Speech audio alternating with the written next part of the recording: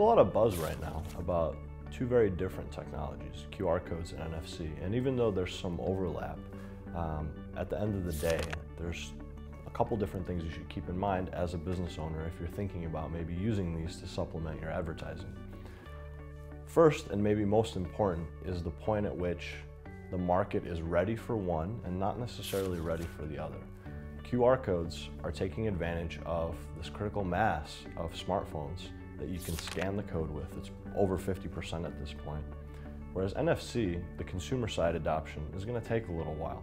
Even though Google's pushing it, there's really only a handful of phones on the market that support NFC.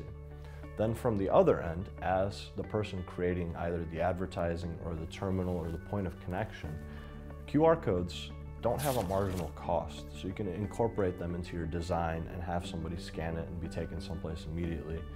NFC, for two reasons, they do have a marginal cost. So to put them in a million dollar or million unit poster campaign costs something. But then if you're using it for mobile payments, the POS system needs to be updated and that doesn't happen fairly often.